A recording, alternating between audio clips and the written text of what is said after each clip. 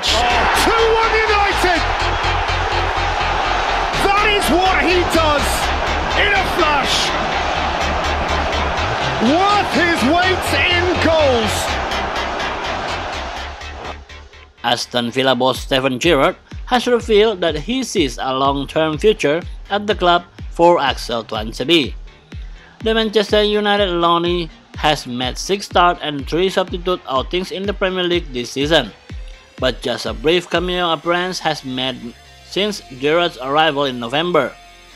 Earlier this week, reports emerged that Napoli were keen to take over the deal in January and have allegedly made a contact with the player's parent club. While acknowledging that the 24-year-old could move to Italy, Gerrard has said that he wants to keep the centre back at Villa Park at the end of this season. Gerrard is quoted by Sky Sport News as saying, It's very much in X's hands and Manchester United's hands. We want him here. We would be delighted to keep him.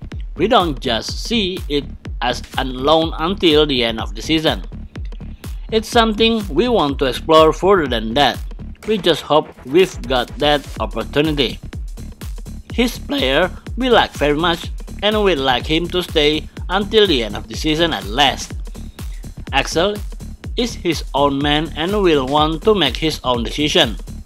Tuanzebe is currently in line to start against Brentford on Sundays as a result of Tyrone Mings' suspensions.